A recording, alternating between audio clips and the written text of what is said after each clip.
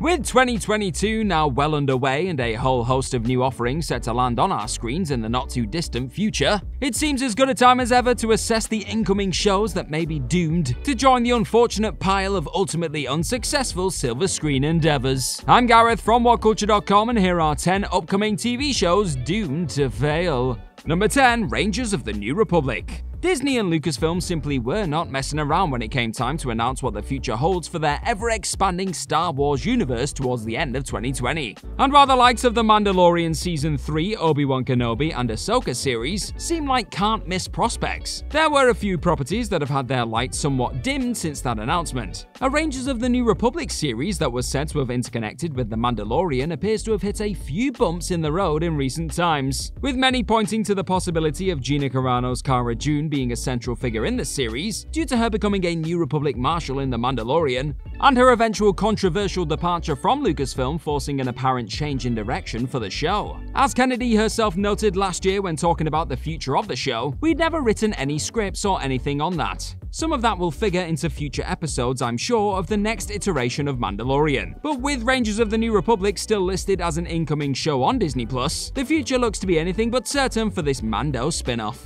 Number 9, Halo. On the surface, the arrival of a long awaited Halo TV project should be the source of unbridled celebration. Since being pitched and seemingly set in motion back in 2013 with Steven Spielberg at the producing wheel, fans have been licking their lips at the all round potential of this grand Xbox property being given the sprawling and cinematic treatment it undoubtedly deserves. But nearly a decade in development hell has left many wondering whether this Master Chief starring tale will ever truly be able to live up to the unprecedented video game adaptation hype. Numerous director and show showrunner switches also suggest that this tall Paramount Plus order hasn't been a process that recent Season 1 helmers Kyle Killen and Steven Kane would like to repeat, with both showrunners refusing to return should Halo earn a second season. As with any highly anticipated adaptation of a beloved video game property, Halo devotees will no doubt be hoping for a series that honors, respects, and expands on the masterful lore that came before it in March. But this may just be a mission that even Pablo Schreiber's Master Chief can't successfully pull off. Number 8, Bel Air.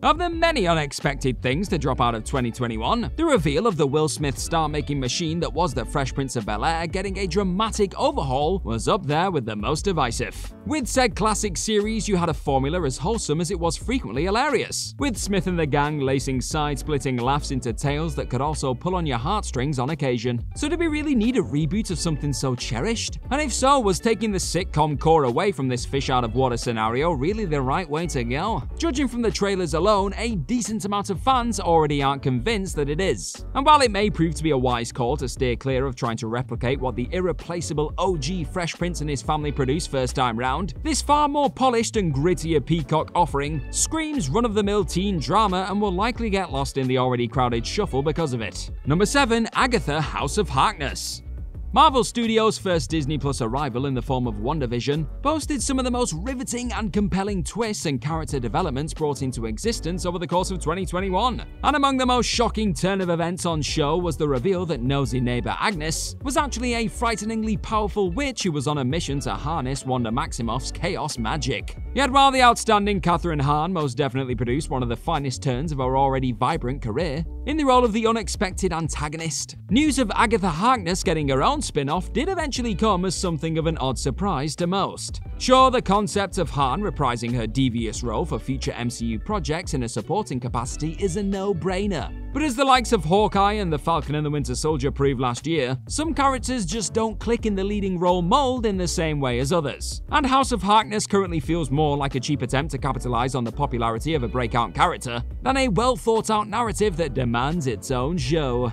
Number 6, Moon Knight. Though the casting of Oscar Isaac looked to be a match made in heaven for the role of Marc Spector, the first real look at the star's upcoming Moon Knight performance that dropped recently left more questions than answers for most. Yet while Isaac's questionable British accent quickly came under fire in said Disney Plus trailer, some were quick to point out that this vocal quality is likely a result of Spector slipping into his alternate personality of Steven Grant in the footage, with the character possessing dissociative identity disorder. With Moon Knight already looking set to carve out its own unique corner in the MCU, as shown in the aforementioned trailers, eye-catching visuals and the all-round nutty concept of Spector being the conduit for a damn Egyptian moon god, This most definitely feels like Marvel's riskiest TV show gamble yet, and will likely live or die based on Isaac's work as the leading light. With the show likely dealing with issues associated to mental health as well, one wrong turn or badly handled depiction of Spector's disorder could also leave Kevin Feige and the gang with egg on their face. Number 5, House of the Dragon. Not even tasting a drop of Game of Thrones goodness since the mainline series came to its lackluster conclusion back in 2019, you'd be forgiven for assuming that just about every Thrones fan in existence would be champing at the bit to see what HBO does next with the world of Westeros. But then, the aforementioned network pulled the plug on their first planned prequel spin off after pumping $30 million into creating a pilot, and fans quietly began to clench their cheeks at the prospect of what could be on the horizon. With said prequel reportedly not delivering on the promise of the original series, the pressure on House of the Dragon, set to drop on HBO this year, to deliver the goods has increased substantially. And though the promise of more dragons, a bunch of mad Targaryens, and a cast that boasts the likes of Paddy Considine, Rhys Ifans, and Matt Smith look interesting enough in the series' most recent teaser, trying to either top one of the biggest shows of all time or even just step out of its shadow feel like simply too tall an order for this house.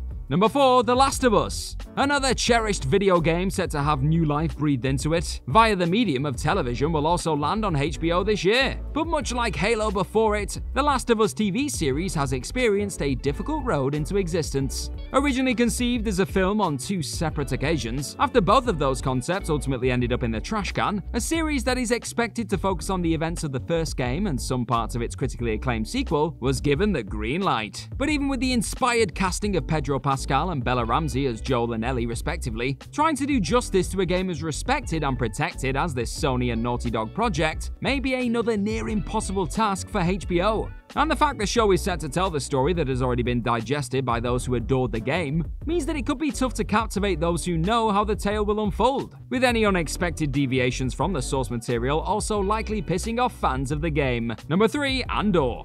As I've already noted, a number of Lucasfilm's incoming Star Wars series look set to seize their fans' attention from minute one, with the return of Ewan McGregor and Hayden Christensen in the Obi-Wan Kenobi series looking to be one of the most anticipated TV moments of 2022.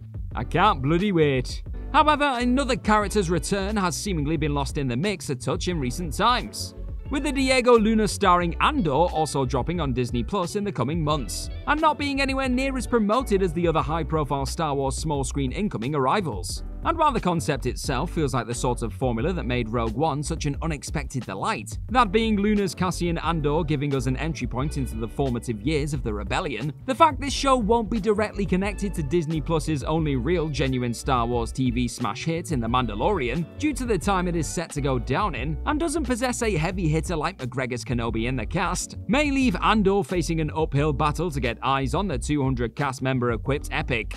Number 2, Space Force. When you assemble a cast that is spearheaded by the ridiculously talented and rather expensive duo of Steve Carell and John Malkovich, you better believe that anything less than a side splitting rollercoaster will be seen as a streaming service setback. And sure enough, with Netflix's first season of Space Force largely underwhelming those who bothered to watch, outside of its leading pair, of course, with both the dudes reportedly taking home $13 million between them just a star, it's not hard to see why many were shocked to see the streaming giants give the green light to a second season for the workplace space dramedy. With that sort of cash being splashed on the top names alone, the margin for failure when it comes to a series of this size is intensely small. With actor Jimmy O Yang summing the project up as The Office that shot like a $100 million Marvel movie. Should Carell & Co. make it two for two when it comes to lackluster launches? Expect Space Force to join Netflix's ever-growing pile of failed experiments. Number 1, The Lord of the Rings, The Rings of Power. Make no bones about it. As far as monumental investments go, Amazon Prime are about to double down on arguably the biggest in the history of television. Dropping a cool $465 million on season 1 alone, Jeff Bezos' The Lord of the Rings adventure is set to finally get underway in September. But whether or not the series acts as the long sought after can't miss flagship of Prime Video is far from a certainty at this point. There's no question that die-hard Rings fans and even the most casual of viewer will likely tune into this tale that is set thousands thousands of years before the likes of J.R.R. Tolkien's The Hobbit and The Lord of the Rings, to see what all the fuss is about. However, much like some of the video game properties already mentioned, trying to live up to a series and world as groundbreaking and important as Peter Jackson's deeply immersive Middle-earth is up there with the most unenviable jobs on planet Earth. Throw into that mix a cast made up of largely unknown entities, and nothing more than a paint-by-numbers title teaser trailer to go off so far, and it's safe to say that Amazon have it all to lose with the Rings of Power, and will be praying their $1 billion five-season epic isn't cast into the fire out of the gates. And that's our list. Of any other upcoming TV shows doomed to fail? Let us know all about them in the comment section right down below, and do not forget to like, share, and click on that subscribe button while you're at it. Also, be sure to head on over to whatculture.com and find some more wonderful articles just like the one this video you're watching right now is based on. I've been Gareth from whatculture.com. Thank you as always for clicking on this video today, and I hope I see your faces very, very soon. Bye bye!